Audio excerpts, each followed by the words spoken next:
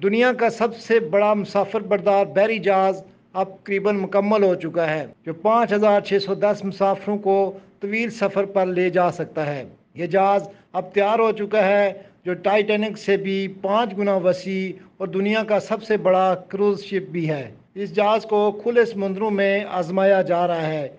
इसके बाद अक्टूबर में से कंपनी के हवाले किया जाएगा। जाँच के तमाम मराइल से गुजरने के बाद तो है कि जनवरी 2024 में इसमें आम मुसाफर सवार हो सकेंगे। 25,800 वजनी और 1200 फिट तवील क्रूज शिप को अब तक समुद्रों में सैकड़ों मील तक टेस्ट किया गया है। इसके इंजन ब्रेक शोर कम करने के निज़ाम थर थ्राट और स्टेयरिंग को हर तरीके से जांचा जा रहा है।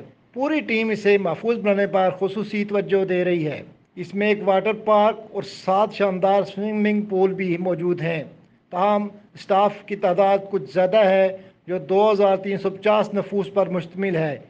यही वजह है कि ये दुनिया का सबसे बड़ा मुसाफिर बरदार बैरी जहाज़ भी है। इसे फिनलैंड की एक कंपनी ने तामीर किया है।